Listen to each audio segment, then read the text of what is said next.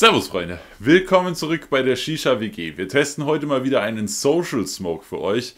Als erstes geht es da um den Mesmerize. Sollte euch das Video gefallen, lasst uns gerne einen Daumen nach oben oder ein Abo da. Und jetzt viel Spaß beim Video.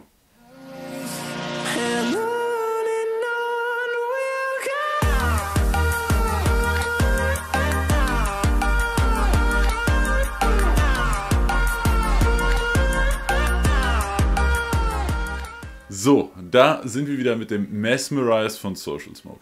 Da man sich unter dem Namen ja relativ wenig vorstellen kann, erstmal, was soll das Ganze sein? Auf der Social Smoke Seite steht nur ein Fruity Candy Mix.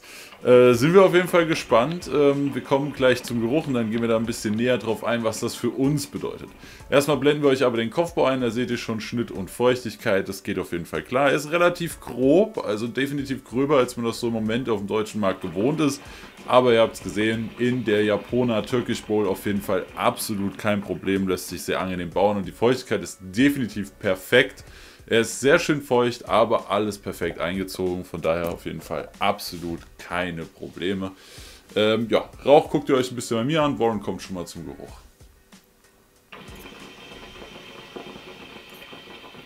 Es ist auf jeden Fall ein sehr, sehr künstlicher Tabak. Es ist nicht sowas, was ihr so dran riechen könnt und sagt, okay, das riecht nach authentischer Frucht von XY, sondern wirklich, es ist so eine sehr, sehr künstliche, ja, Bonbon-Note, die aber sehr, sehr fruchtig ist. Also das erste Mal, erste Mal dass ich dran gerochen habe, dachte ich mir direkt so, ja, ihr kennt wahrscheinlich alle noch äh, die, diese typischen Kaugummi-Automaten, wo man einmal dran drehen konnte, irgendwie 10 Cent reingeworfen hat und dann hat man ein Kaugummi rausbekommen. Genauso riecht er auch. Also es ist definitiv sehr künstlich. Es ist ein bisschen so nicht wirklich abgestanden, aber so schon sehr, sehr künstlich chemisch. Muss wirklich sagen, beim Geruch ist es so eine zwiegespaltene Sache. Es gefällt mir, aber auch gleichzeitig schreckt mich ein bisschen ab, weil es so künstlich chemisch ist. Äh, von daher bin ich auf jeden Fall gespannt, wie es dann am Ende raucht und dann schmeckt. Ja, Rauch seht ihr ja schon, der geht auf jeden Fall klar. Da hätte ich auch nichts anderes erwartet. Äh, so feucht wie der Tabak ist, so schön aufgenommen wie die Molasse ist, definitiv kein Wunder, läuft auf jeden Fall sehr gut. Auch Rauchverhalten ist definitiv perfekt. Äh, Geruch kann ich eigentlich wirklich gar nicht mehr so viel anderes oder Neues zu sagen. Er riecht wirklich wie diese extrem bunten künstlichen Kaugummis, die man früher aus diesen Automaten kennt. Äh, es geht sehr stark so in die Richtung Hubba Bubba, aber wirklich so die extremsten Sorten. Es riecht sehr intensiv, wirklich krass. Diese künstliche Note ist am Ende fast ein bisschen störend, weil es wirklich extrem intensiv ist. Ich mache direkt weiter mit dem Geschmack. Da ist das bei mir ganz genauso, nur ein bisschen weniger intensiv. Ihr habt immer noch diese leckere Bonbonnote am Start. Also Fruity Candy trifft es da für mich ziemlich, ziemlich gut. Ihr habt einfach diese leckere Bonbonnote, die man von früher kennt, von diesen Bonbons aus dem Automaten.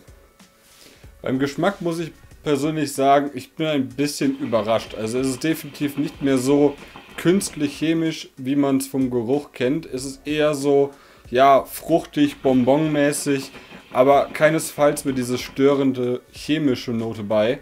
Äh, gefällt mir ziemlich gut, muss auch direkt sagen, ich würde dem Tabak einfach eiskalt die 9 Sterne geben, weil ich finde, es ist ein sehr, sehr leckerer Tabak, der gut umgesetzt ist, der sehr gut raucht.